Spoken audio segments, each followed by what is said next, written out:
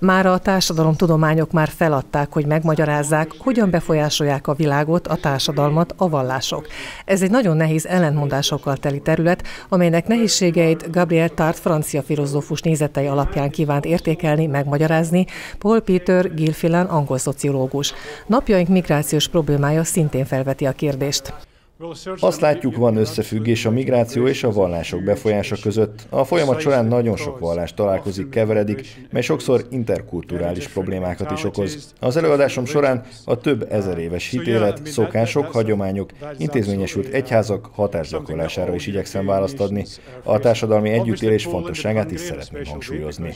A Matthias Corvinus Kollégium Pécsi központja hetente szervez nyitott szakmai rendezvényeket, melynek során megmutatják az MCC sokszínű közösségét és értékeit. A Matthias Corvinus Kollégium döntően társadalomtudományokkal foglalkozik. Az MCC tevékenységei e köré szerveződnek a középiskolás, az egyetemi és a posztgraduális programjainkban is.